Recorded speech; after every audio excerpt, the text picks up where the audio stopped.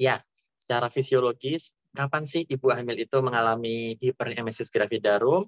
Yaitu pada saat tadi anak pertama tadi Mbak, secara fisiologisnya memang anak pertama itu membuat dampak si pasien terus menjadi HEG hiperemesis ini. Yang kedua, kehamilan kembar.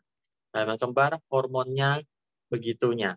Yang ketiga, hamil dengan eh, preeklamsi atau tensi tinggi atau kehamilan dengan kehamilan anggur. Kehamilan anggur ini juga mengakibatkan hiperemesis yang begitu hebatnya.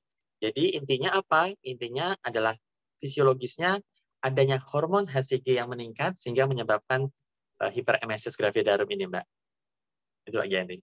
Baik, dokter. Nah, dokter, mungkin dokter punya pesan untuk ibu yeah. hamil khususnya agar uh, tetap sehat. Jadi ibu hamil dan janinnya itu tetap sehat dalam menjalani masa-masa kehamilan, apalagi saat mengalami hiperemesis.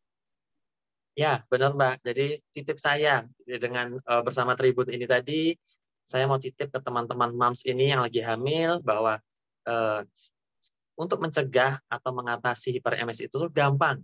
Yang pertama adalah kita harus ibu hamil ini harus stay positif, berpikir positif, positive thinking. Jadi tidak serta merta ini ada minuman air putih, saya kok minum itu pasti mual muntah dok. Belum diminum, belum dicoba.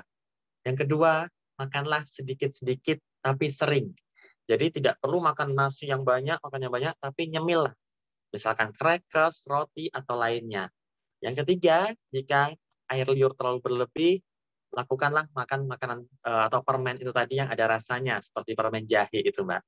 Itu, Mbak, pesan saya buat teman-teman yang lagi hamil ini. Baik dokter, eh, terima kasih atas informasinya. Semoga ilmu yang diberikan dapat bermanfaat bagi ibu hamil, khususnya eh, ibu-ibu yang sedang mengandung anak pertama. Seperti itu mungkin karena eh, belum ada pengalaman banyak untuk kehamilannya seperti itu.